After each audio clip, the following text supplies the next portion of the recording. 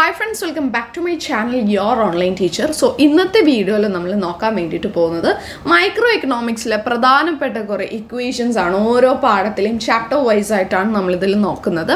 അപ്പോൾ ചിലതിന് അങ്ങനെ ഇക്വേഷൻസ് ഇല്ല. പക്ഷേ അത് ഇമ്പോർട്ടന്റ് ആയിട്ടുള്ള ഒരു പ്രോബ്ലം ആണ്. അത് നമ്മൾ ഇതിൽ ആൻസർ ചെയ്ത് തന്നെ പോകുകയാണ് ആദ്യത്തെ പാടായിട്ടുള്ള ഇൻട്രൊഡക്ഷനിൽ നിന്ന് നമുക്ക് ഫസ്റ്റ് പഠിക്കാൻ വേണ്ടിയിട്ടുള്ളത് മാർജിനൽ ഓപ്പർച്യൂണിറ്റി കോസ്റ്റ് കാണുന്നതിന് വേണ്ടിയിട്ടാണ്. മാർജിനൽ ഓപ്പർച്യൂണിറ്റി കോസ്റ്റ് എന്ന് പറഞ്ഞിട്ടുണ്ടെന്നുണ്ടെങ്കിൽ രണ്ടാമത്തെ ഗുഡ്സ് എന്തുമാത്രം നമ്മൾ സാക്രിഫൈസ് ചെയ്തിട്ടുണ്ട്. ആദ്യത്തെ ഗുഡ് കൂടുതൽ ഏൺ ചെയ്യുന്നതിന് വേണ്ടിയിട്ട് ആദ്യത്തെ ഗുഡ് കൂടുതൽ കൂടുതൽ നമുക്ക് കിട്ടാൻ വേണ്ടിയിട്ട് നമ്മൾ രണ്ടാമത്തെ ഗുഡ് എന്തുമാത്രം ഏൺ സാക്രിഫൈസ് ചെയ്തിട്ടുണ്ട് എന്നുള്ളതാണ് ഈ മാർജിനൽ ഓപ്പർച്യൂണിറ്റി കോസ്റ്റ് എന്ന് പറയുന്നത്. അപ്പോൾ അത് കാണാൻ വളരെ സിമ്പിൾ ആദ്യത്തേതിൽ ഒന്നുമില്ല രണ്ടാമത്തേതിൽ പതിനാലിൽ നിന്ന് പന്ത്രണ്ട് കുറച്ച് കഴിഞ്ഞാൽ നമുക്ക് എത്ര കിട്ടും? രണ്ട് കിട്ടും. ദെൻ പന്ത്രണ്ടിൽ നിന്ന് ഒൻപത് കുറച്ചാൽ നമുക്ക് മൂന്ന് കിട്ടും. ദെൻ ഒൻപതിൽ നിന്ന് അഞ്ച് കുറച്ചാൽ നമുക്ക് നാല് കിട്ടും. അഞ്ചിൽ നിന്ന് പൂജ്യം നമ്മൾ കുറച്ച് കഴിഞ്ഞിട്ടുണ്ടെങ്കിൽ നമുക്ക് അഞ്ച് കിട്ടും. അങ്ങനെ രണ്ട് മൂന്ന് നാല് അഞ്ച് എന്ന് പറയുന്നതാണ് നമുക്ക് ഇവിടെ കിട്ടുന്ന മാർജിനൽ ഓപ്പർച്യൂണിറ്റി കോസ്റ്റ് അതുമാത്രമേ നമുക്ക് ഫസ്റ്റ് ചാപ്റ്ററിൽ പ്രോബ്ലം വരുന്നുള്ളൂ. ദെൻ രണ്ടാമത്തെ ചാപ്റ്റർ കൺസ്യൂമർ ബിഹേവിയർ ആൻഡ് ഡിമാൻഡിലെ പ്രധാനപ്പെട്ട ഇക്വേഷൻസ് ബഡ്ജറ്റ് കൺസ്ട്രെയിന്റ് എന്താണെന്ന് ചോദിച്ചാൽ P one X one plus P two X two great less than or equal to M അതായത് ഒരാൾക്ക് വാങ്ങിക്കാൻ പറ്റുന്ന ഗുഡ് വൺ ആയിക്കോട്ടെ ഗുഡ് ടു ആയിക്കോട്ടെ അത് രണ്ടും ചേർത്ത് അയാൾക്ക് വാങ്ങിക്കാൻ പറ്റുന്നത് less than or equal to M ആണ്. അതായത് അയാളുടെ ഇൻകത്തിനോട് ഈക്വലോ അല്ലെങ്കിൽ അതിൽ താഴെ വിലയിൽ നിൽക്കുന്ന കാര്യങ്ങൾ അയാൾക്ക് വാങ്ങിക്കാൻ പറ്റുള്ളൂ എന്നുള്ളതാണ് ബഡ്ജറ്റ് കൺസ്ട്രെയിന്റ് ദൻ ബഡ്ജറ്റ് ലൈന്റെ equation budget ലൈന്റെ equation P one X one plus P two X two equal to M എന്നുള്ളതാണ്. ദെൻ ഹൊറിസോണ്ടൽ ഇന്റർസെപ്റ്റ് കാണാനുള്ള ഇക്വേഷൻ എം ബൈ പി വണ്ണും വെർട്ടിക്കൽ ഇന്റർസെപ്റ്റ് കാണാനുള്ള ഇക്വേഷൻ എം ബൈ പി ടുവും slope കാണാനുള്ള equation minus P one by P ടുവുമാണ് then price elasticity of demand കൂടി നമുക്ക് ഇതിൽ കാണാനുണ്ട്. അതിന്റെ ഇക്വേഷൻ എന്ന് പറയുന്നത് ഇത് വെച്ച് നമ്മൾ പ്രോബ്ലം ചെയ്യുന്നതായിരിക്കും കേട്ടോ. വേറെ വീഡിയോയിൽ ചെയ്യുന്നതായിരിക്കും. അപ്പോൾ ഇക്വേഷൻസ് എല്ലാവരും എഴുതിയെടുത്തോളാം. P zero by Q zero into delta Q by delta P ഇതിൽ ഈ ട്രയാങ്കിൾ ഷേപ്പിനെയാണ് ഡെൽറ്റ എന്ന് പറയുന്നത്. ഡെൽറ്റ ക്യൂ ഡെൽറ്റ പി എന്ന് പറഞ്ഞാൽ അതിനർത്ഥം ചേഞ്ച് എന്നാണ് അർത്ഥം വരുന്നുള്ളൂ. ചേഞ്ച് സോ ഡെൽറ്റ ക്യൂ എന്ന് പറഞ്ഞിട്ടുണ്ടെങ്കിൽ ക്വാണ്ടിറ്റിയിൽ ചേഞ്ച് അതായത് Q one minus Q zero delta P എന്ന് പറഞ്ഞാൽ പ്രൈസിലെ change P one minus P zero മറ്റൊരു ഇക്വേഷൻ പ്രൈസ് ഇലാസിറ്റി ഓഫ് ഡിമാൻഡിന്റെ തന്നെ മറ്റൊരു ഇക്വേഷൻ എന്ന് പറയുന്നത് percentage change in demand divide by percentage change in price ആണ്. ഇൻ കേസ് നമുക്ക് ചോദ്യത്തിൽ ഡിമാൻഡിൽ വന്നത് ചേഞ്ചിന്റെ പെർസെന്റേജും പ്രൈസിൽ വന്ന ചേഞ്ചിന്റെ പെർസെന്റേജോ തന്നെങ്കിൽ അത് രണ്ടും കൂടി ഡിവൈഡ് ചെയ്താൽ മതി. മൂന്നാമത്തെ പാഠമാണ് production and cost production and കോസ്റ്റിൽ കുറച്ചധികം ഇക്വേഷൻസ് ഉണ്ട് നോക്കാം. ടി സി കാണാൻ T F C plus T V C T F C കാണാൻ ടി സിയിൽ നിന്ന് ടി വി സി കുറയ്ക്കാം. ടി വി സി കാണാൻ ടി സിയിൽ നിന്ന് ടി എഫ് സി കുറയ്ക്കാം. ഇനി മറ്റൊരു ഇക്വേഷൻ ടി സി കാണാൻ എ സി ഇന്റു ക്യൂ ചെയ്യാം. ടി എഫ് സി കാണാൻ A F C into Q ചെയ്യാം.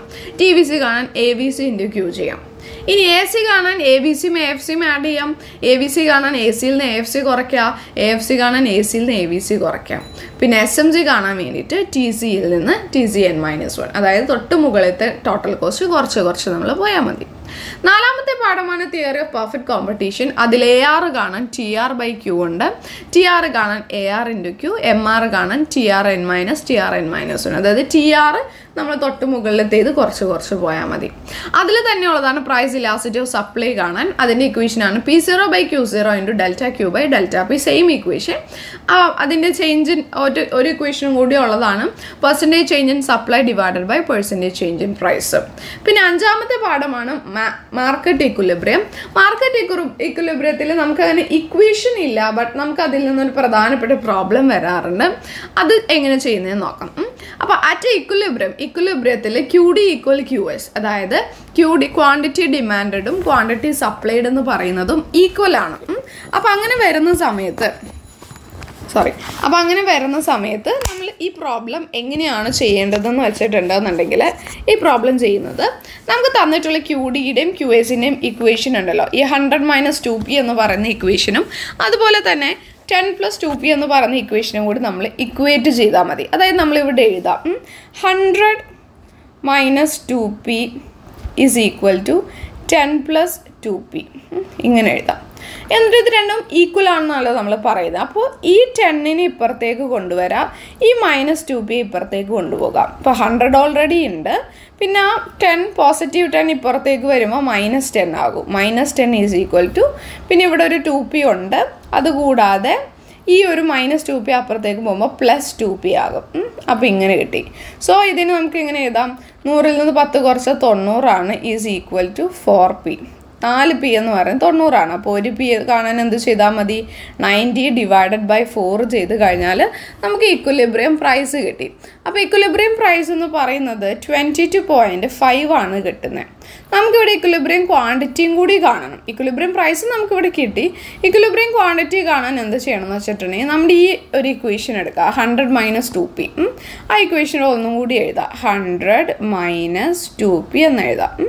അതിൽ നമുക്ക് പീന്റെ വാല്യൂ ഇപ്പോൾ അറിയാമല്ലോ പീന്റെ വാല്യൂ എത്രയാണ് hundred minus two into twenty two point five two into twenty two point five എന്ന് പറയുമ്പോൾ ഫോർട്ടി ഫൈവ് ആണ്. So hundred minus forty five is equal to fifty five എന്ന് പറയുന്നതാണ് നമ്മുടെ എന്ത് വരുന്നത്?